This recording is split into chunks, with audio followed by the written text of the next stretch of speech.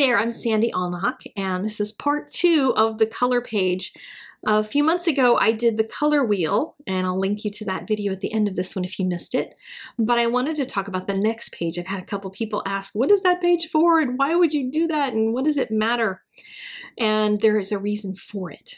Because a lot of people say, I just don't know what colors to use. How do I know what colors go together? And a lot of it is very subjective. I, there's no rules about it, but this page will give you, I hope, some ideas to get you started. There's just a couple different combinations that are very common. And the first one is triadic, which is using three colors that are equidistant from each other. So yellow, red, and blue are equidistant, and then there's orange, violet, and green. And you can just do all different kinds of combinations. Just count on the color wheel that you've already colored or painted, and you can use any medium you want for any of these. I switched to pencil after I did that first one in watercolor because I just felt like it. and this page is one that you can go back to later on if you're stumped on colors, that you want to try a different color combination on a Bible page, but you just don't really know what to do. These triadic ones tend to be more happy, kind of childlike ones because they're colors that are really different from each other. Analogous colors are next to each other on the color wheel. And it can be two, three, four, five colors that are in succession. And of course, on a color wheel, you have, you know, 20 colors within each one of those sections, 20 shades. So you don't have to be locked into only using those particular ones, but anything that's right next to each other on the color wheel is going to be very pleasing and very calming in some fashion. It's colors that go together really well, they coordinate nicely. You can use darker and lighter versions of each of those. Doesn't have to be all in the same, same tone range, but those will just give you a very harmonized kind of look to whatever piece that you're creating. And you can go through each one of these. There's a bunch of hearts on here that you can just do a bunch of different color combinations and then use this page as a reference to go back to. And if you like a certain type of com color combination, this can be really helpful to give you ideas in the future. So for the next one, it's complementary colors. Complementary colors are opposite each other. So if you're using, you know, a red color, you want to look directly opposite the color wheel, and a green would be on the opposite side. And for those kinds of things, if you think about a garden that's full of green leaves and green weeds, if you're in my garden, then all of a sudden, if you have a red or a pink flower popping into that, it has a real strong contrast to it. You get a vibrancy in colors.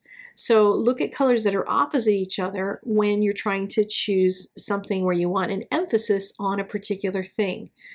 Same thing if you think about your sofa. If your sofa is a blue sofa and you put an orange type of pillow on it, that orange pillow is going to get all the attention because everything else around it is that blue. So you want to kind of pair things in a way that drives emphasis to the things that you're interested in paying attention to. Now, color temperature, I didn't include this. I should have included this on the graphic in the workbook.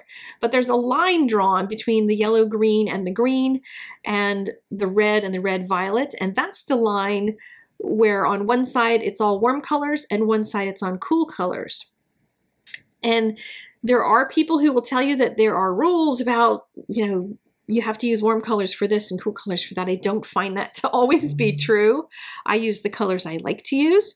But sometimes if you're trying to create a particular mood, it's helpful to know which ones feel warmer and which ones feel cooler. So if you're doing something very calming and and that sort of thing, you may want to use some cool colors. If you're trying to convey energy, then those warm colors are going to make a big difference. So here you can do different combinations and then see what it feels like. So when you look at those little heart combinations that are there where you've got a couple colors from the, the warm section, the warm half of the color wheel, that gives you a certain kind of feeling when you look at it. And same thing for the cools. It's going to give you a certain emotion that you might want to convey in your Bible journaling page. So all of this is just ideas. It's not any rules. There's no, you have to use these colors together or you can't use those colors together. It's just using using color theory in a way that might help to shake you out if you're always doing everything in pink and you want to know how do you break out of that pink. Try pairing your pink with something else in the color wheel and see what else happens. You might find that you really like pink, but boy, what does yellow do for you? How does yellow make you happy? And so here's my finished page with all of the different colors on it. And now I've got a whole collection of colors. Now that one I, I ended up coloring the wrong color in it, so scribbled it out. This is a workbook, remember that. And now I've got all these different combinations though that I can come back and revisit in order to pick out a whole different type of color combination. And these in particular, I love complementary colors because they just have such punch to them. And then there's just that harmony that you can get from colors that are all warm or all cool. So I hope this was helpful to you in how to use that page in Bible Journaling Made Simple workbook. Use that in combination with the main book and you'll learn a whole lot about color. And I will see you guys again later or on the Facebook group. Links are in the doobly-doo down below. Thanks and God bless you.